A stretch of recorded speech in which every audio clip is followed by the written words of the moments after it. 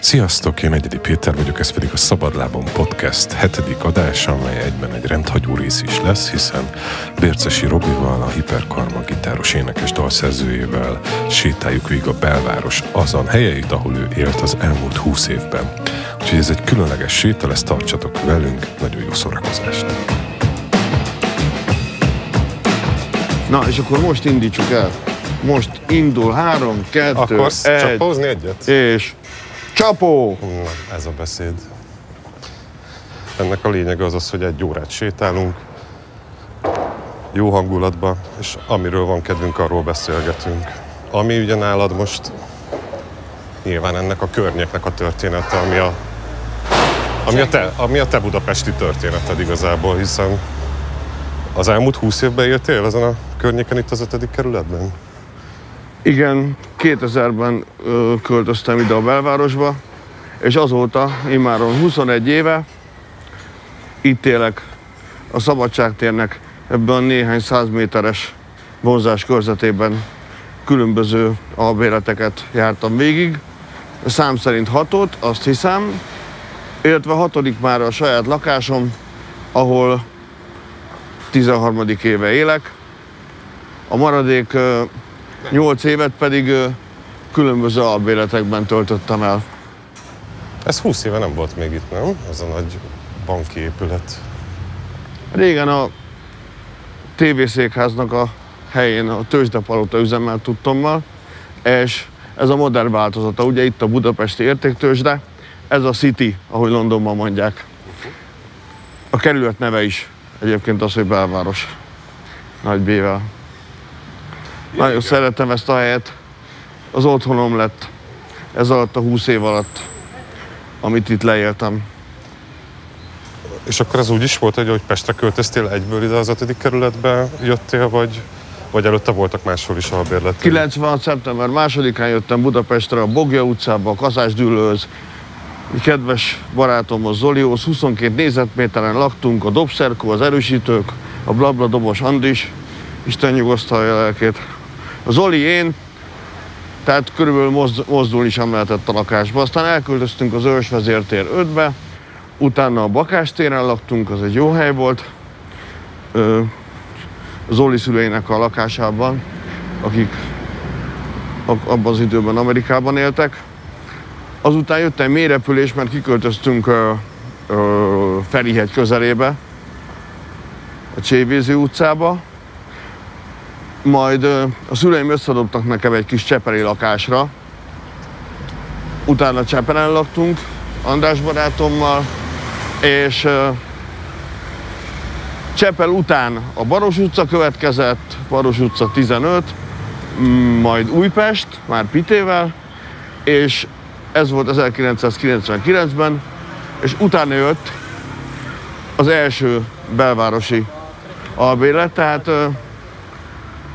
a 96-tól 2000-ig a külvárosban éltem, és ez a lakás, ahol most éppen tartunk, ez már a célegyenes, ez a Sas utca, a Sas utca 5-ben laktunk Reginánál, akivel kalandos körülmények között ismerkedtem meg. Akit érdekel a történet, olvassa el az Én meg az Ének című életrajzi regényemben.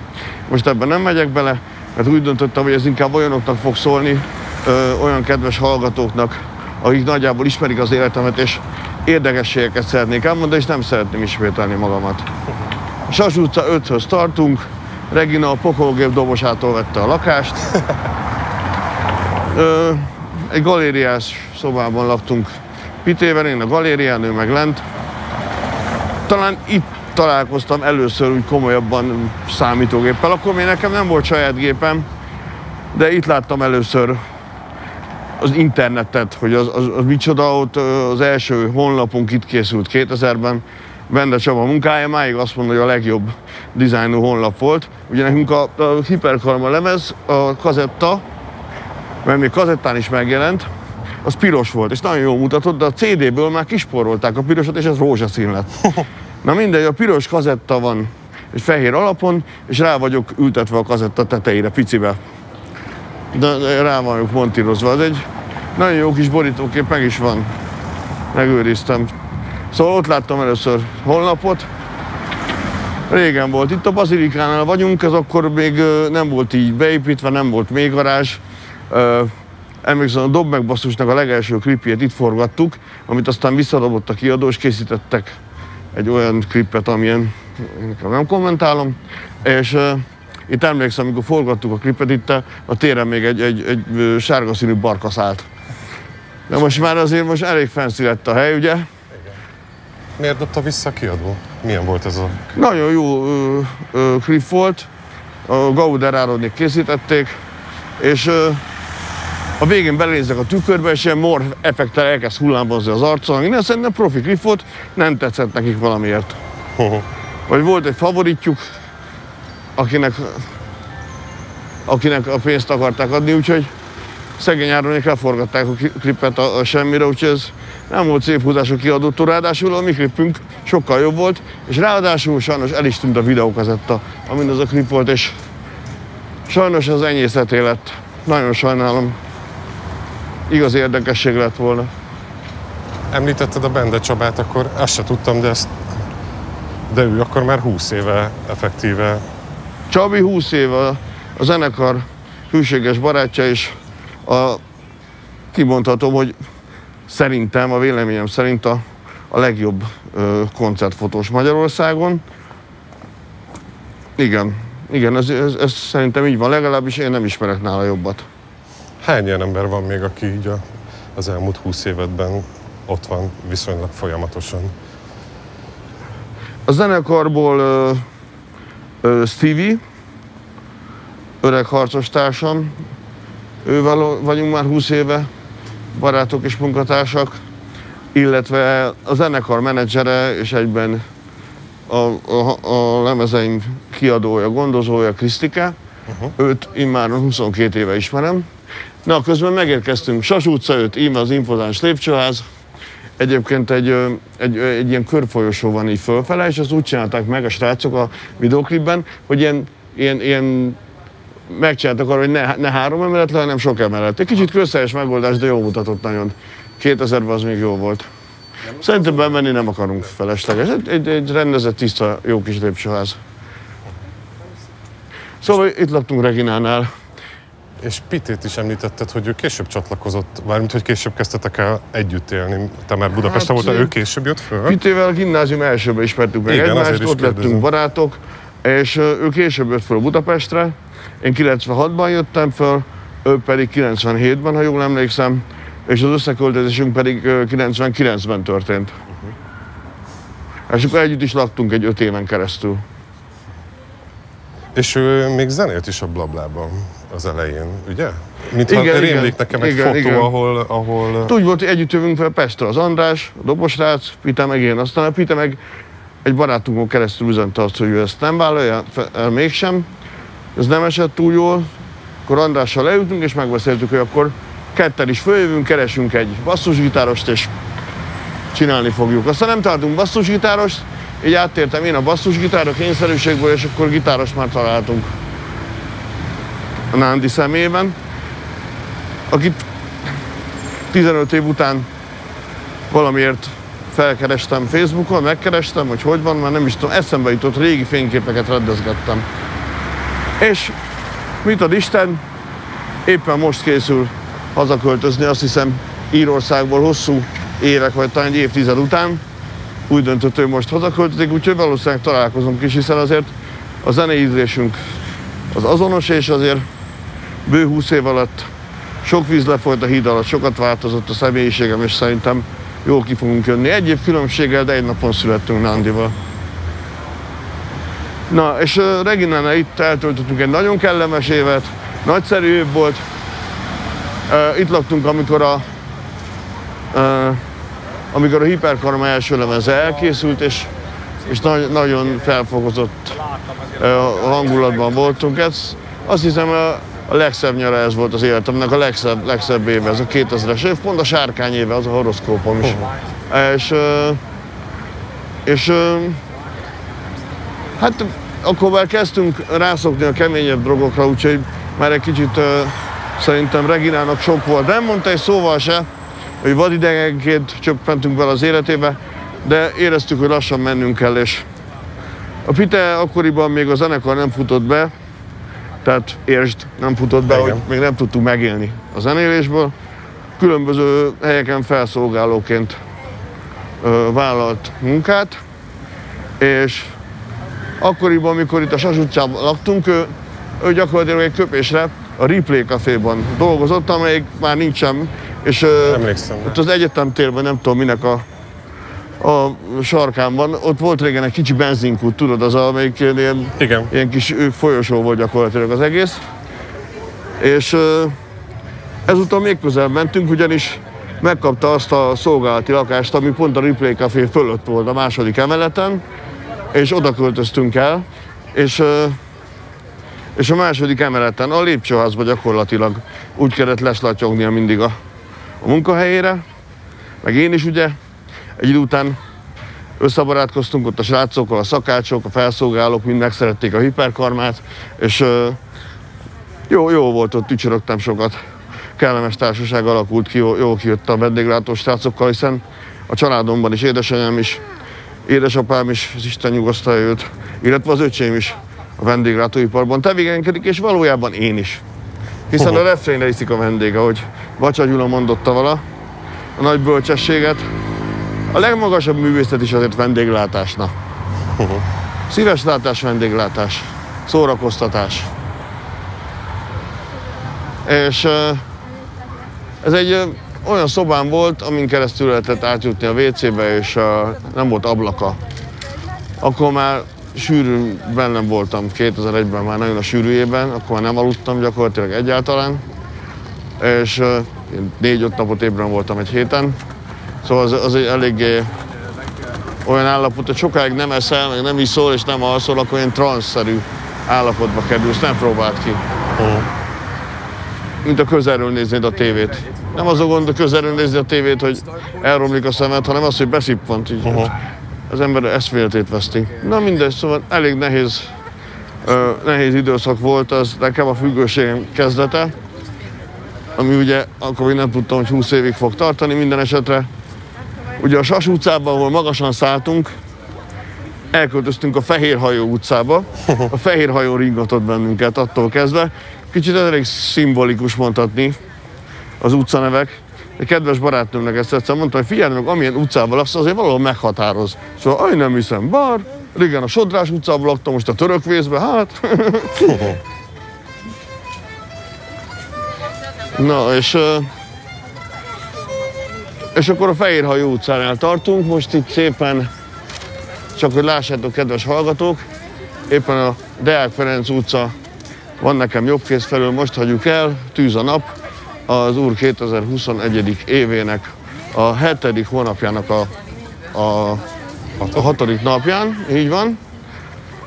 Emlékezetes nap ez, úgyhogy azért is, mert ma vagyok 11 hónapja drogmentes, egészen pontosan 11 hónap telt el. Na most itt régen emlékeim szerint egy McDonald's volt, most itt Így nem van. McDonald's van, itt van még? Nem, a McDonald's egyel beljebb volt ott a... igen, igen, igen. Bamba Marha nevű étkezde van itt. Nem egy olyan szókapcsolat az, amitől megéhezek. Nem fut össze a a számba. Na, most eljöttünk itt a, Ezt nagyon szerettem ezt az utcát itt a, gyerekként. öm, a metró megálló mellett, Porsche szalon. Hol van az már? Tényleg, az is volt. Sütő utca, valahol ide járt Petőfi Sándor gimnáziumba. Úgy emlékszem. Vagy Arany János? Nem, Petőfi szerintem. Szerintem is Petőfi, de én se tudom. Hol a McDonald's? Ennek a helyén volt, a teivó helyén. Ja, most, most már te Nézd, és az is az volt, vagy, vagy az volt, vagy ez a kettő egybe volt nyitva. Ez, látod, ez úgy tűnik, mintha most falaszták volna be. Hát akkor még sincs McDonald's. Na és hamarosan megérkezünk a Szombori Dezső térre. Ez egy pici tér. Erővel tűz a nap. Csodálatos nyár van. És azt mondtad, hogy 2000-ben, 2000-ben vagy 2001-ben már elkezdtél keményebb drogokat használni, hogy azelőtt mi volt? Vagy hogy? mi- Azelőtt szorgalmasan ittam és gyógyszereztem magamat. Minél előbb kicsináljam magam. Én nem azért kezdtem el drogozni, hogy tágítsam a tudatomat, én meg akartam halni. Aztán látod, miből lesz a cserebogár. De most, ha mondhatok ilyet, mi sose voltunk nagyon közel, és amióta nekem az Anna a párom, most már lassan 7 éve, azóta közelebbről látom a történéseket, és, és mintha most így rendben lennél, vagy jobban lennél, vagy boldogabb lennél? 11 vagy... hónapja drogmentes vagyok, de ezt már mondtam. Azt tudom, de nem, nem, nem is erre gondoltam, hanem hogy te, mint, mint ember most hogy vagy? Meg vagyok, köszi. A Replay Café látod, itt még, föl, itt még a, Igen. Itt látszódik még a, hogy mondják ezt, mi ennek a neve? Az, tehát a Replay Café már nincs itt, azért bedeszkázott ablakok vannak itt, de fölül egy kis felirat még hirdet, hogy itt volt, itt állt valamikor a Replay Café, egy ilyen kis, kis minimolino. Na, és itt vannak ezek a hatalmas vaskapuk, itt a Fehérhajó utca, uh, 12-14, vagy valami ilyesmi volt a, a házszám, ha jól emlékszem. De ez most mindegy, de azért megnézem, mert nem bírom könnyen nézem meg, hogy mi is volt ez. Hm, hm. 12-14, jól emlékszem. Aha. Nagyon szép. És uh, itt volt a Ripley café a személyzeti bejárata, általában itt foglaltam helyet, és a második emeleten laktunk a már említett uh, szörnyű, szörnyű lakásban. Horrible, horrible flat. Aztán végül az egésznek úgy lett vége, hogy a, hogy a főbélő nő, egy idősebb nő, beköltözött a konyha mögötti kis fészerbe, és éjjel-nappal bömböltette a lakodalmazzenét, és meg voltunk róla győződve Pitével, hogy ő az ördög maga. Szóval elég szörnyűséges volt. Még el voltunk maradva a, lakbérrel, és túlszólejtett a mikroalmú sütőmet, illetve az ebőeszközeimet, amik nála is maradtak. Persze azután is már kifizettük az adósságunkat, mert azért nem, nem maradtunk adósai. Uh-huh. Akkoriban a Tony and Guy fodrászatból pár nagyon kedves kis, kis jóságos boszorkánylányjal bandáztam, és ők fogadtak magukhoz Pitét is és engem is néhány hétre. Könyves György utcában laktak Budán, szóval volt egy ilyen néhány hetes budai kitérő, de nem nagyon tudtuk, hogy mit csináljunk, hiszen az nem lehetett egy állandó hely. És egy buliban találkoztam egy lányjal, aki a későbbi nagy szerelmemnek, az Annának a legjobb barátnője volt, sőt, a legjobb barátnője volt az Anna előtti szerelmemnek is. És uh, little did he know, akkor még nem sejtettem, hogy ez így van. Mindenesetre egy buliba összefutottunk Katával, aki mondta, hogy a Bajcsi úton lakik, és uh, úgy tudja, hogy a szomszéd lakás kiadó. Megnéztük a lakást, 50 ezer forintot kértek érte, ez egy 90 négyzetméteres, hatalmas belvárosi polgári lakás volt, ahol végül is a második aranykorunkat megéltük, hogyha az elsőnek számíthatjuk a, az első lemeznek az elkészültét. Uh-huh. A Bajcsin volt, az volt a bulipecó, a, a központ. Ott aztán tényleg mindent beleadtunk, és az életem legszebb évei közé tartozik az ott eltöltött idő. És és két szoba volt, volt egy hatalmas, ilyen akkor, a színházterem, színházi függönyel, meg minden. Azt választottam én, mivel hogy én találtam a lakást, ugye ez egy ilyen iratlan szabálya az albéletezőknél. Aki a lakást találja, az választ szobát. Bár a Piténél volt mindig a vendégsereg, az én szobámban ritkában volt buli, de mégis én laktam ott abban hatalmas, hatalmas szobában. Nem is, nem is volt akkora szobában se előtte, se azóta. Aztán még ki tudja, mi lesz, de nem volt, az, akkor a lakásban nem laktunk. Őrületes pecó volt, őrületesen olcsón, és nagyon sokáig éltünk ott, amíg a Pitével nem volt meg a mosolyszünet, akkor ő elköltözött egy időre. Én ott maradtam egyedül, illetve albérőtársnak befogadtam Petrát, aki a gödörben volt mindenes, jegyszedő, ilyesmi. És ott még ellakosgattunk egy évig, de a nagy bulinak akkor már vége volt. Most éppen a Deák térnél vagyunk, méghozzá azon a helyen, ahol a Gödör klub üzemelt régen, ma Aquarium klub van a helyén. Hamarosan emellett fogunk elmenni, és elérkezünk majd a nagy közlekedési csomópont, az a, a, a Bajcsi Andrási sarkál, ahol régebben volt a, az a bizonyos fodrászat, ahol a imént említett lányokkal bandáztunk. Nem, és hát még most is ott van, nem tudom. A Tony and Guy frizura. Örökítsük meg a szélfutta pillanatot, gondosan bezserézve. és oldalra csak a szemünkkel nézzünk, tudod, a fejünket nem mozgassuk, mert elmúlik a, elmúlik a spontánnak beállított, bezsarizett pillanat. Istenem. Te jársz fodrászhoz, vagy jártál fodrászhoz? Ö, nem, nem. Ö, én nem szeretem a, a fejemen a frizurát. Tehát semmi ami frizura. Aha. Nő a hajam, levágom. Nő a hajam, levágom. Levágják.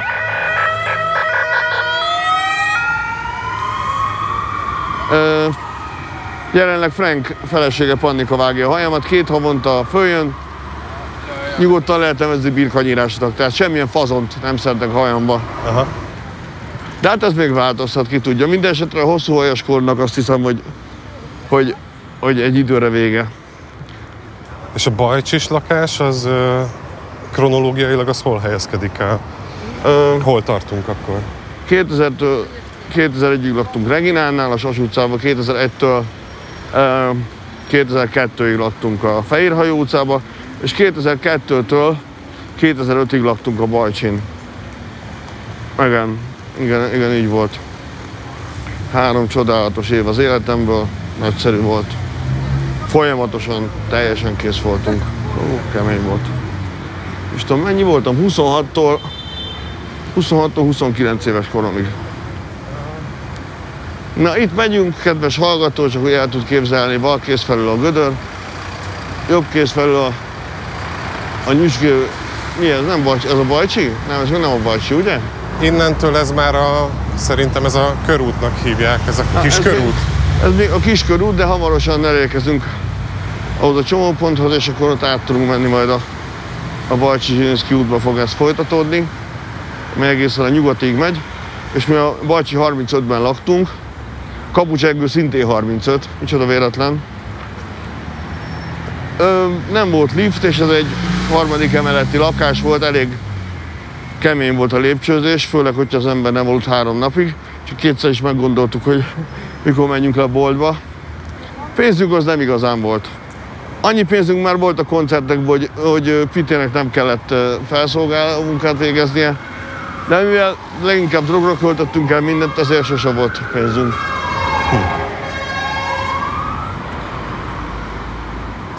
Igazából elköszönök ezektől a helyektől. Én egyáltalán nem, nem vállalok interjúkat, nem szeretem az interjúkat, csak hogyha valami különleges alkalom, egy különleges kapcsolat, hogy apropó van.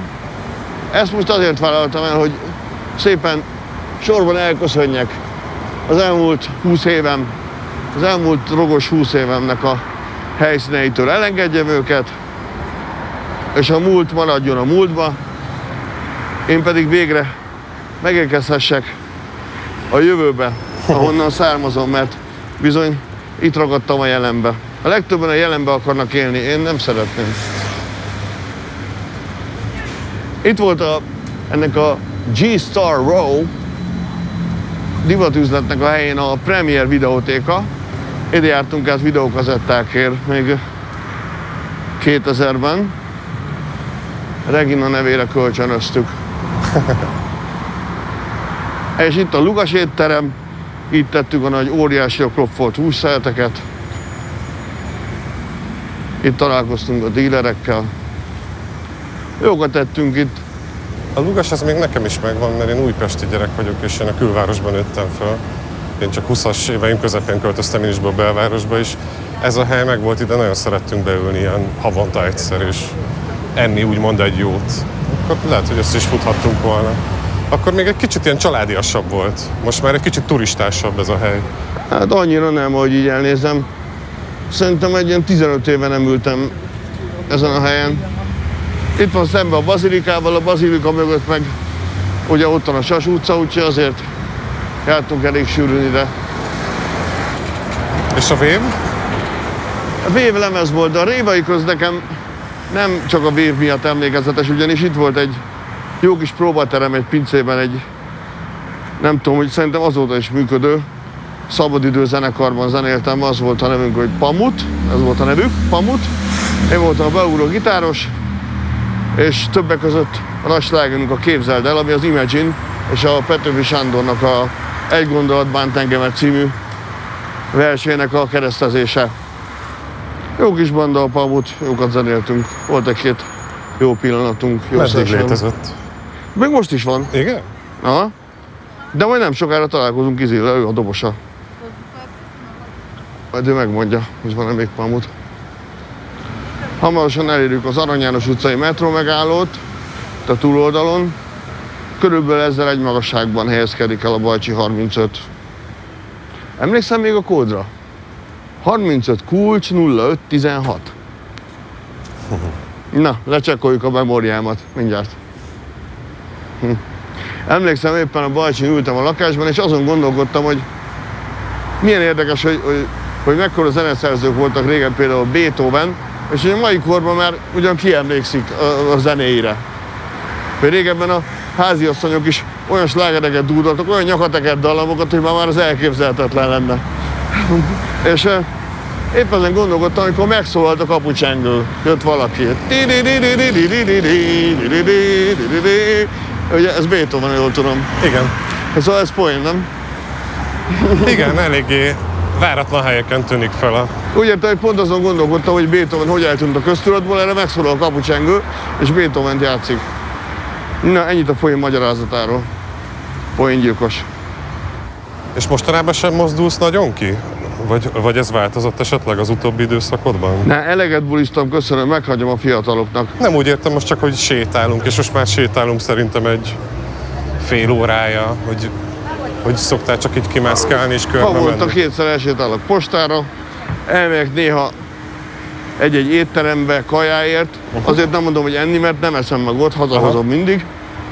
Én szeretek olvasni tévés közben, sőt, csak úgy tudok enni igazán. És ezt nem akarom, hogy bámuljanak, hogy könyvvel mászkálok. Szóval Mit olvasol most éppen?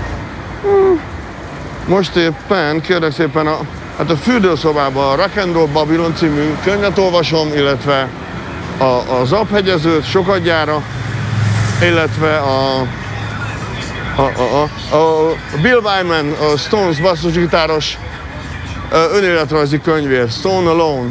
Nem folytották le magyarra, de úgy nagyjából értem a felét mondjuk. Izgalmas könyv, nagyon jó, nagyon jó. A konyhában pedig Freddie Mercury életrajzát olvasom, illetve annak az embernek a visszaemlékezéseit, aki az élete utolsó 12 évében a mindennapos szánsegédje, vagy nem is tudom, mindenese volt. Együtt laktak. Láttad a filmet? Láttam persze, de hát nem is értem, hogy hogy a Freddie Mercury az elején, hogy pakolja a bőröndöket, meg hogy egy kis lakásban laknak, hát ők nagyon gazdagok voltak, szolgák vették körül egész életében. Ő, ő egy nagyon, nagyon gazdag ö, családból származott, úgyhogy sok fals dolog van abban a filmben. Mindegy. Én is csodálkoztam, hogy ezt a, az utat választotta ugye a, a May, meg a, meg a Roger Taylor, akik producere is lettek a filmnek, hogy kicsit ilyen cukormázasan, kicsit ilyen Hát igen. megszépítve A, mutatják be szegény, ezt a az egész fiú, a szegény fiú feltör, tudod. De hát erről szó sincsen. Dúsgazdagok voltak. Én legalábbis ebből a könyvből így tudom. És milyen élmény volt neked, amikor kényszerűségből basszusgitárra kellett váltanod a blablába? Hát, mint ahogy minden gitáros, én is pengetővel basszusgitároztam, aminek sok szépsége van, de azért mégsem az igazi. Még kispárosabb lett a zenekar Aha. felállása, és ugyanolyan lett, mint a régi kispálnak a, a hangzás is. A lovas is pengetővel basszusgitározott, hasonló stílusban. A basszusgitár mellé, mivel hogy sokszor dallamokat játszik, mint a végig szólóznék, Aha. nehezebb énekelni, mint hogyha ritmusgitároznék. Kevesebb a húr, de kicsit nehezebb a függetlenítés. Nemrégen meghallgattam egy-két régi blabla számot, és egyáltalán nem emlékszem a, a, a, a, arra, hogy ho- mik, mik azok a dallamok. Nem tudnék eljátszani egy számot sem a basszusgitáron, de elég virtuóz módon nyomtam, mint ahogy 7 éven keresztül részfúvós hangszereken játszottam, és egy hangot nem tudok lefújni. Azt tudom, hogy legyem a kezembe. Tehát én, ez, ez a tudás, ez nem raktározódott el, ez egyszerűen, ez egyszerűen kiszállt az ételből. Leave you baby if you don't care for it. Elhagy téged, hogyha nem foglalkozol vele. A blablával az első élményem Petőfi rádiót hallgattam 90-es évek legvégén, és ott volt valami szombati műsor, ahol új zenéket mutattak be. És akkor ott ment a biztonsági őr. Itt egy bár van, Itt a most 35. egy, egy, egy könyvesbolt volt itt régen, na nézzük. Na nézzük.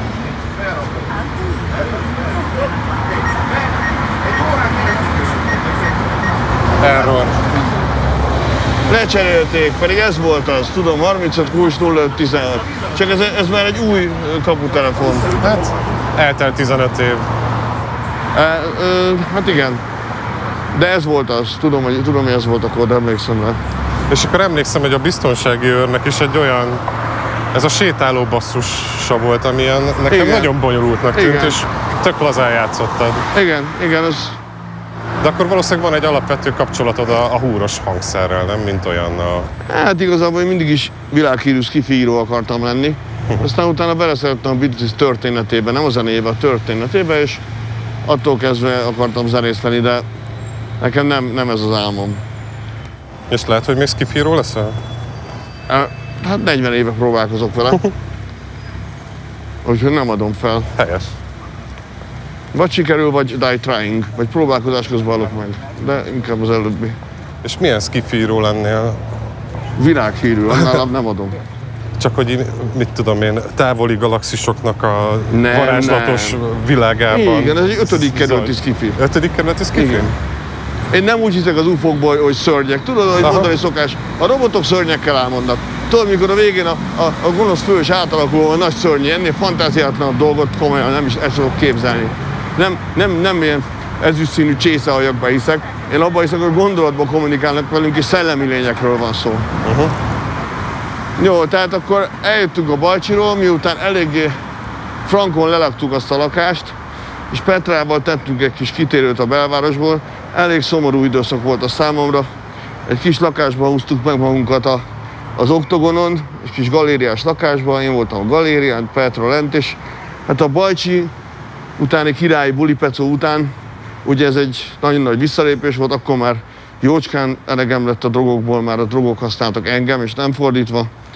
Szörnyű időszak volt, aztán az akkori barátnőmmel összeköltöztünk, és elköltöztünk még kiebb a Lilium utcába, ott ahol a Trafó? Trafó művészetek háza van, vagy mi a kortárs művészetek háza, vagy ilyesmi. Uh-huh.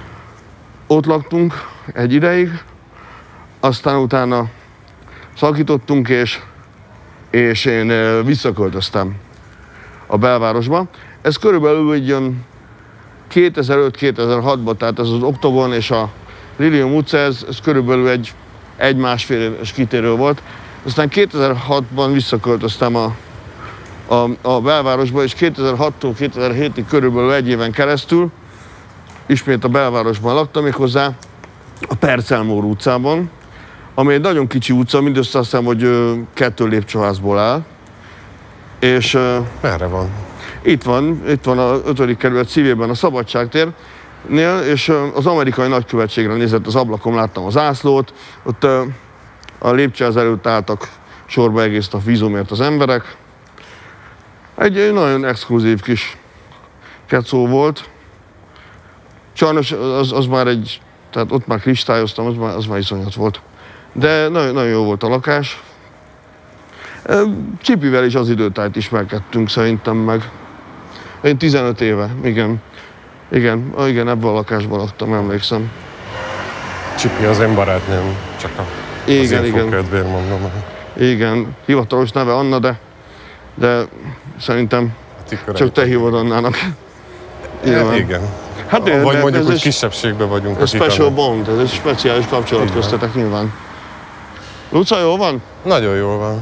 Úgy fejlődik, mint a Hány éves? Isten nyila. Most volt 2 júniusban. Hát akkor már régen járkál, mi vígan? Ja, persze, mert egy éve mász. Ja, jár- Első szó mi volt? Azt mondja, nem? Mm, Nem egyébként, hanem... De lehet, hogy a nem volt az első szavai közt az egyik. Ezt így igazából nem jegyeztük meg, mert viszonylag hamar elég sok mindent elkezdett mondani több szót. Na, átjöttünk itt a, a Balcsizsinszki úton, itt szembe volt a Nagy Sándor József utca, egy, egy ilyen kis vékony utcácska, és már is itt vagyunk a forgószél belsejében, a Szabadságtérnek a 100 méteres vonzás közvetét hívom így, alattunk az ország aranya, a Nemzeti Bank takarékpénztár, itt nincsenek Tényleg itt romkocsmák, hát ez, ez, ö, itt nincsenek romkocsmák, én úgy tudom, hát itt van a Nemzeti Bank, minden itt van. Itt, itt nincsenek igazából lakóházak, itt az amerikai nagykövetség mellett megyünk el, minisztériumok vannak, és mivel itt nincs se kocsma, se ismerős, ezért nem tudtam hova, hogy viszonyítani, hogy, hogy mégis, hogy hogy mondjam ezt szépen, hogy ez mindig is egy fehér folt volt nekem, Aha. éppen emiatt, mert nem volt itt se hely, se ismerős, aki ezt tudtam volna viszonyítani ezt a helyet, és már jó ide a belvárosban laktam, és néha elkeveredtem a szabadságtér, akkor csak álltam a mezőn, és azt sem tudtam, hogy hol vagyok. Szóval ez a forgószél belse, ahol tudva lövőleg szélcsend van. Itt az amerikai nagykövetség balkész felül, és ez a csodálatos fák szegélyezte kis utcácska az említett Percelmor utca, két lépcsőházban, én ebben a gyönyörű lépcsőházban laktam, aminek egyszer az ajtaját, mikor jöttem haza egyik éjszaka, ezt a gyönyörű ajtót, uh-huh. egy kicsit erősebben csuktam be a keletén, és visszajöttem, és bum, kitölt az egész ajtó. Szóval úgy képzeljétek el, kedves hallgatók, ez egy gyönyörű, hatalmas ajtó, hát kb. kétszer olyan magas, mint mi. Itt töltöttem 2006-tól 2007-ig egy, egy évet. Az hogy csak össze, hogy is volt akkor, azt hiszem hat, hat lakásról szeretnék beszélni. Sas utca, Fejrehajó utca, Bajcsi, Percelmur utca, és még kettő van vissza, igen. 2007-től 2008-ig... És várjál, még annyit mondja a következő állomás előtt, hogy az, hogy ilyen viszonylag sűrűn kellett mozdulni, annak, annak volt különleges oka, vagy igazából csak ennyi, ez, ez volt a ritmus?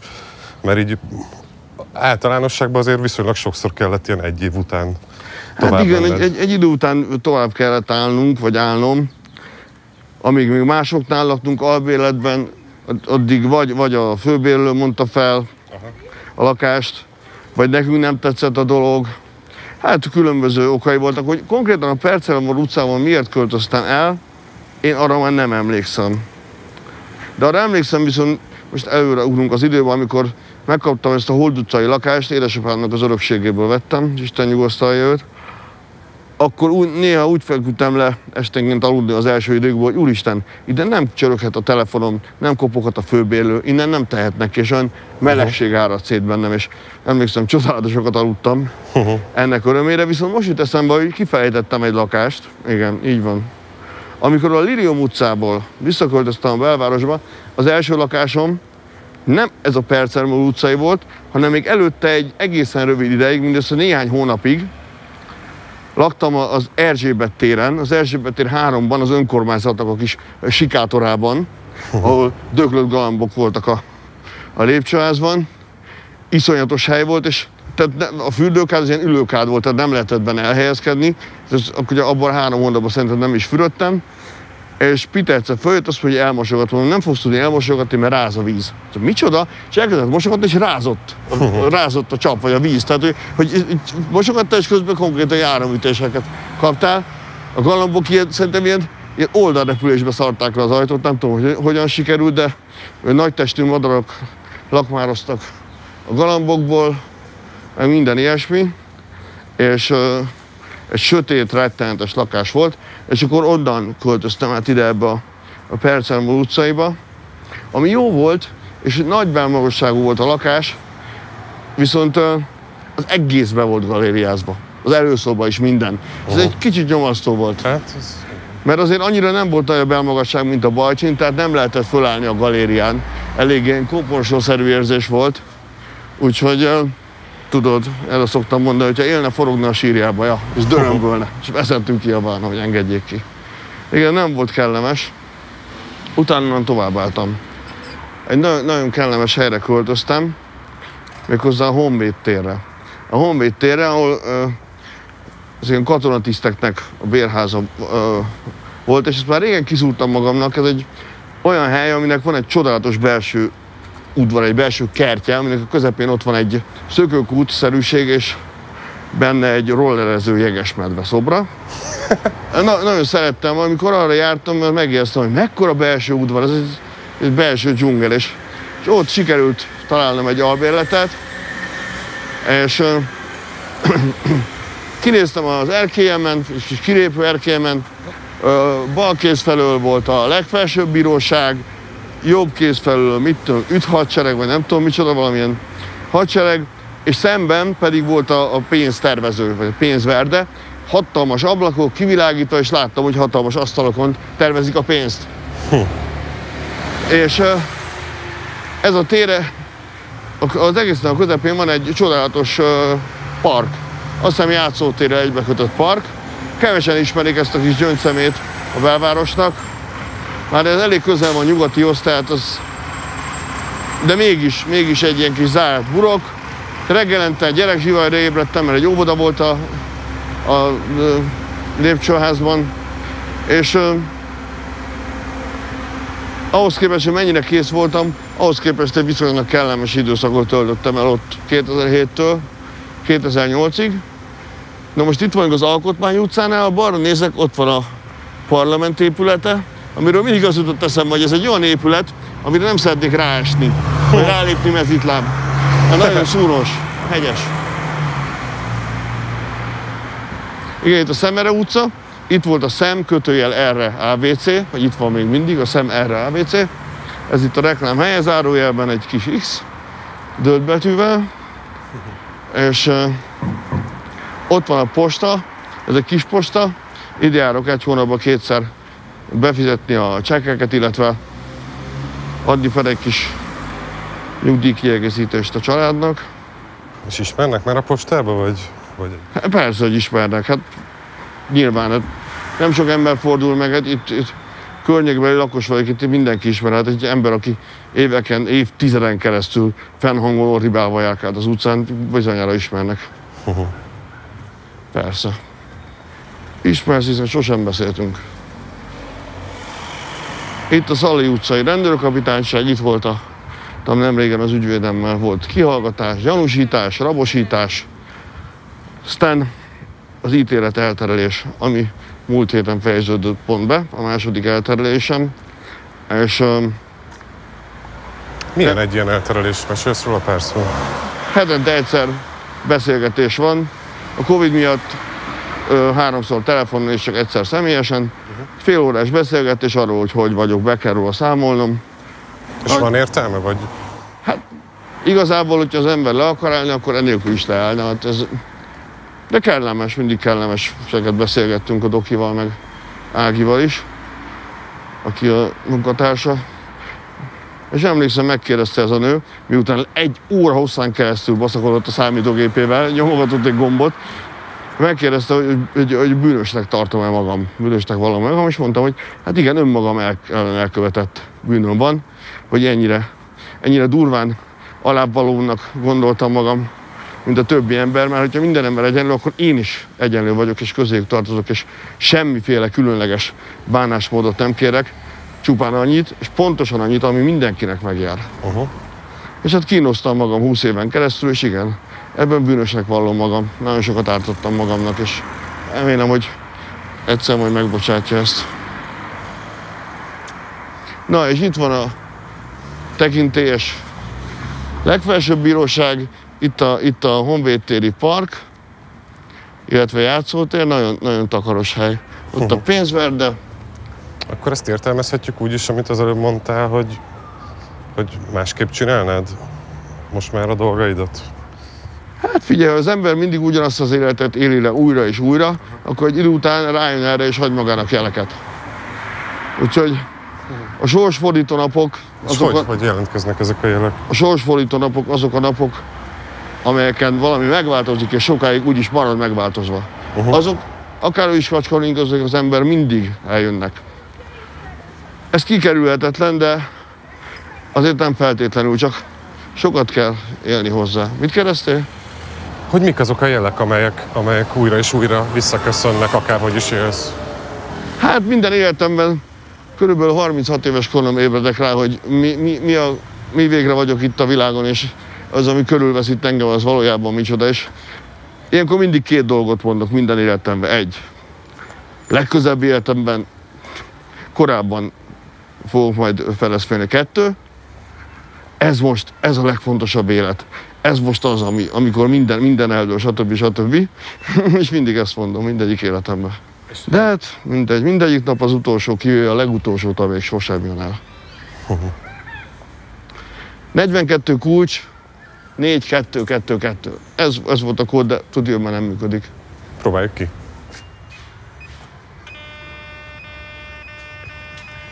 Error ez is. Jó van, értjük. Jó van. Csak azért így büzsereg, mert most kijöttek éppen. Ez tényleg egy nagyon. Ez az a belső kert. Hát És van. ott a jegesmedve? Az a ha jegesmedve, ami van- néz ránk? Igen, a rollerező jegesmedve, ott egy roller van a kezei közt. De ez mekkora poén? Viszont papírvékonyak a falak, bármennyire szép is az a ház. Bocsánat, tessék. Emlékszem egyszer éjszaka, egy gyönyörű nyári éjszakán magamba bontam, mondtam magam itt nagyon súlyos dolgokat, és kinéztem egy kicsit az erkélyen, és az alattam levő erkélyen, annyit láttam, hogy egy ökölbe szorított kéz. Ott ott indul ki az erkélyen, tudod. Uh-huh. Egyből elhallgattam. Az megkapta magáét, ne félj. Aki hallgatózik, az könnyen megsértődhet. Nem szép dolog hallgatózni. Na és itt van ez az épület, ami nem üt cseregesz, hanem fú, most nem jut eszembe micsoda. Hát egy honvédségi objektum, nem, én sem tudom, hogy mi van itt. Nézzük meg, mi van kiírva. Honvédségi terület, ezt mi is tudjuk. Ott a falon van valami részletesen. Hát én úgy emlékszem rá, hogy ez nagyobb betűkkel volt ide kiírva, de... És hát pont beláttam itt ugye a, a, az erkélyemről, a negyedik emeletről, és itt masíroztak benne a katonák, de hogy mi is ez? Hát ez csak semmi. Csak azt írják, hogy kameráznak. Ah, És 11 hónapja, amikor utoljára használtál szert, annak volt valami különleges alkalma? Vagy, vagy egész egyszerűen úgy alakult, hogy utána azt mondtad, hogy ez a vége? elmentem egy koncertre, ahol a kedves kis szervezőnk hívta rám a rendőröket, és mondta, nyugi, nyugi, nyugi, nyugodj Ja, ez, a Bala, ez ezek, Balaton. ezek nem a rendőrök, hát ott jönnek a rendőrök, de ezek nem a rendőrök. Igen, tényleg nem azok. Elképesztő módon megalázott. Erről még cikkeztek is, ugye ez volt a Balaton felvidéken, azt hiszem. Persze, a bulvárnak nagyon tetszett. Hogy emlékszel vissza? a szelf- hívtak a itt szel- sokszor. Meg hogy ugye a selfie-t el is A vállaltad. az, az, az egyetlen, amit elvállaltam, mert igazából jó ötletnek tartottam. Uh-huh. De a legfontosabb az volt, hogy abban az időben rettenetesen le voltam égve, komlón laktam, és nulla forintom volt, és kellett. A fiatal voltam, kellett a pénz. Rosszabb dolgokat is csináltam volna, nem igaz? De még ez még valamilyen szinten vállalható volt. Tehát nem egy ilyen, mit tudom én, való világvilla, hanem itt igazából arról volt szó, hogy Hát róla kamerával rögzíthetem az életemet. Azt sajnálom, hogy nem gitároztam, nem, nem, nem, nem poénkodtam, és nem, nem, nem tudtam több mosolyt varázsolni a nézők arcára.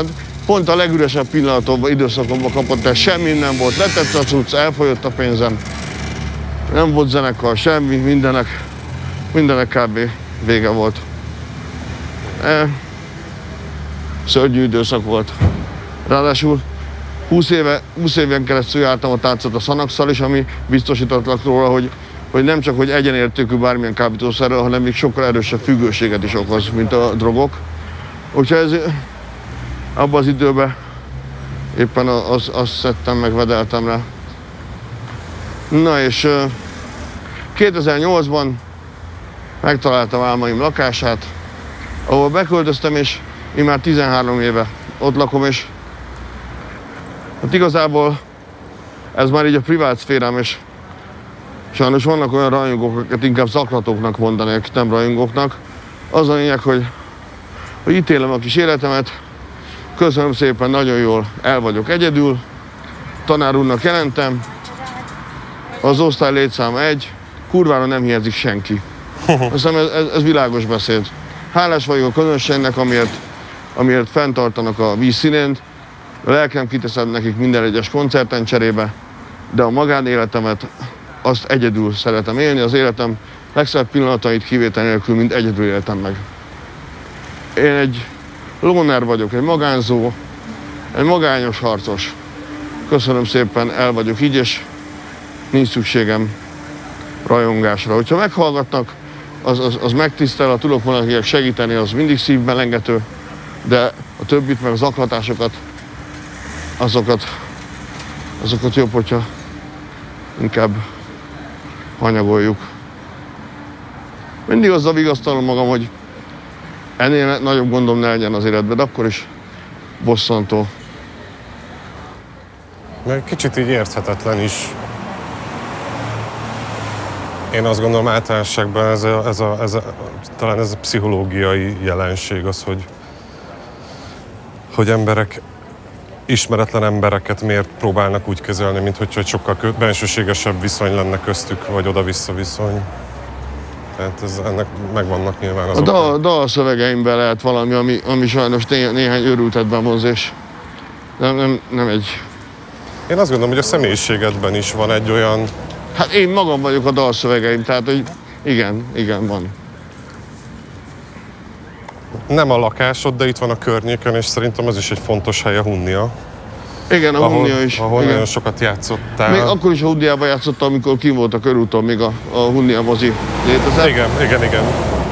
Nagyon sokat, ott kezdtem el igazából így felcseperedni az egyszágitáros projektem révén. Ez egy kellemes hely volt, és pont erre jó, hogy kicsit a szárnyaimat bontogassam, és, és ö, nem vagyok ö, elzárkózva attól, hogy valamikor még fellépjek ott, de nyilván nyári hónapokban nem szeretnék pincébe fellépni, ugye a Covid miatt most ez egy ideig lehetetlen is volt.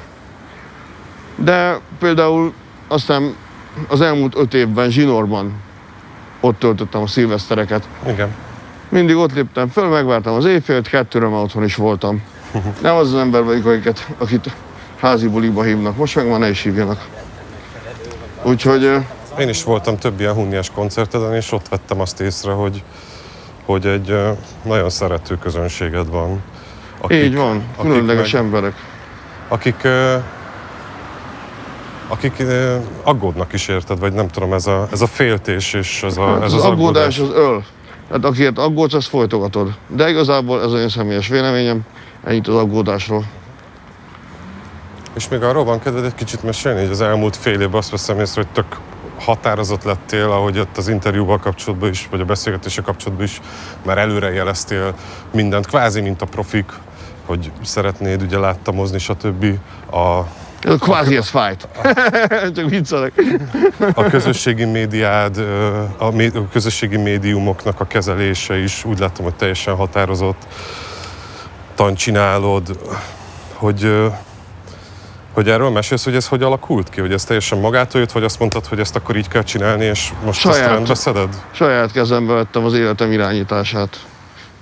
Arra emlékszel, amikor ez így megfogalmazódott benned, hogy ezt kell tenned?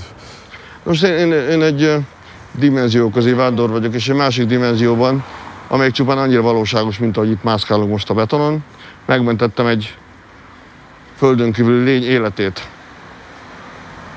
Kiszabadítottam őt a fogságából, és ez a lény történetesen tud bánni az idővel, és azóta ő van velem, és attól a naptól kezdve ő segít engem.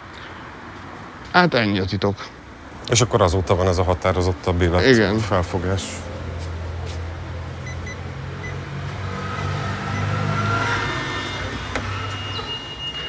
De persze ez a, Köszönöm. ez a fejemben játszódó történet. Én mivel skifi rajongó vagyok, és szeretném a skifit a szép irodalom szintjére emelni. Ezért a, számomra ez így képeződik le alapvetően, és ezt nagyon örülök, hogy elmondhatom. Mindent, ami, ami, amit, ami jót, minden tehetséget, minden kegyelmet, amit kaptam, azt egyedül Istentől kaptam. És uh, őt szeretem a világon a legjobban. Uh-huh. Ezt így köszönöm, hogy elmondhattam. Köszönöm. És az, azóta, mióta ez van, így jobban érzed magad, vagy ez egy... Hát meg vagyok, ezt kell mondanom, hogy, hogy nem egyszerű az élet. Ebből a körintából nem igen száll ki az ember, csak úgy. Uh-huh. Úgy látszik, hogy ez valamiféle kegyelem. Nyilván a dílerem száma egyből kikerültek a telefonomból, uh-huh. és hát azokkal az emberekkel is megszüntettem a kapcsolatot, akik még benne maradtak a drogozásban. Az egy másik időszámítás, és rettenetesen unalmasnak találtam azt a közeget, józanul ment a beszéd, a pofázás, de igazából nem volt cselekvés, egy helyben taposás volt, és úgy éreztem, hogy már semmi közös témánk nincs azokkal, nincs, közös témánk nincs azokkal az emberekkel, akik Köszönöm. olyan formában egész embert kívánóan üzték és üzik a mai napig a drogok szedését. Ez egy egyéni dolog, ebből nem lehet csak olyan könnyen kijönni. Na, közben megérkeztünk hozzám, de a lakásomban már szomjas vagyok, mint egy temet. Én, ne? Kosz. Na, mit kérsz? Whisky, Sör, bor, fröccs, ice a kóla. Kólát, egy kólát. Dr. Pepper, nem? Ö, azt nem ismerem, az milyen ízű? Hát, szénsavas cseresznyélének mondanám. Akkor kólát kérek. Ettől kellett a Forrest Gumpnak pisilni, amikor az elnöken találkozott. Köszönöm szépen. Hát köszönöm, hogy, hogy sétáltál velem, meg, megdumálhattunk. Itt, itt tartunk most. Most vagyunk a mostba, irány a jövő.